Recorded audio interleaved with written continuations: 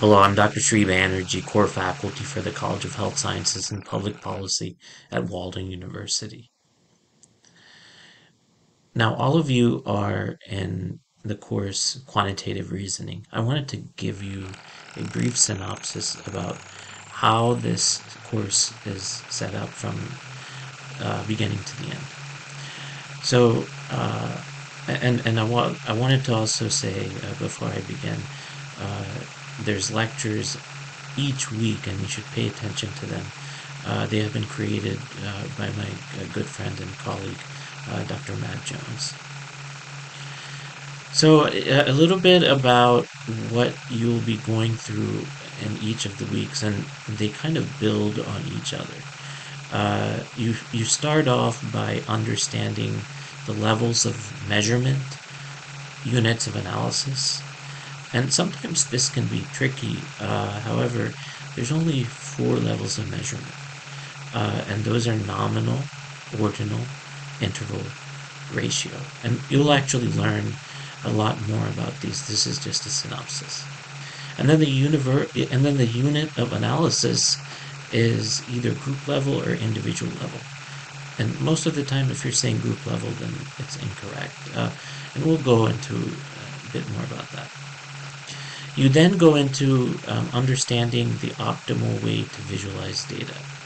And as you'll note, uh, the way to visualize uh, uh categorical variables such as nominal variables is completely different than, say, uh, some of the uh, continuous variables such as a histogram.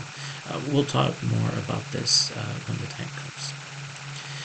Then you um, encounter um, a number of statistical tests. And before I go into the statistical tests, it's important to pay attention to the measure that is the effect size. So the first statistical test that you go through is the t-test, and, and you try to determine what the outcome variable is, what type of outcome variable is, and what the explanatory variables are.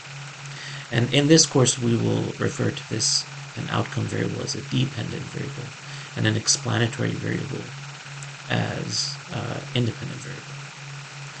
Uh, I, I wanted to take a tangent here and uh, talk about a quote that George Box made um, he said that all models are wrong, some are useful.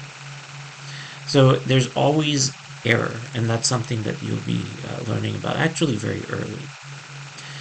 So we went, went over the t-test, uh, then one-way ANOVA uh, is um, the anal analysis of variance. That is the next test that you go over.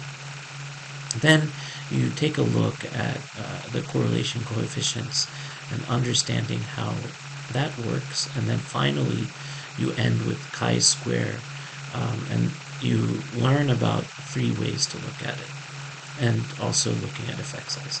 So that sums up everything that you will be going over, however, in much greater detail than um, I go over in, in three minutes. Thank you for listening.